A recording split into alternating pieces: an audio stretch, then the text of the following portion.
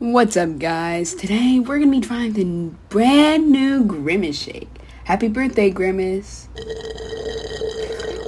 Wow, this is this isn't actually that